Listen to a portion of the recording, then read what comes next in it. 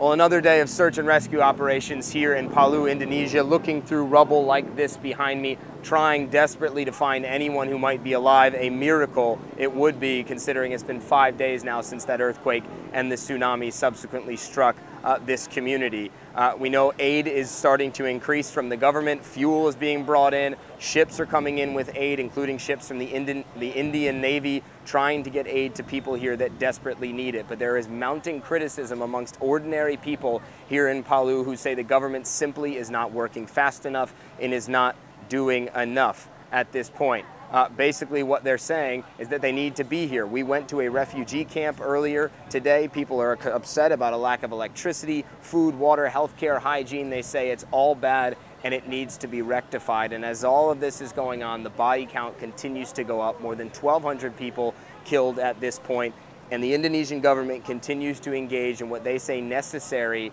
or what they call necessary mass burials. We saw a mass burial today. We went up on top of a hill and watched as soldiers dragged dozens of bodies in body bags into a grave freshly dug by a backhoe.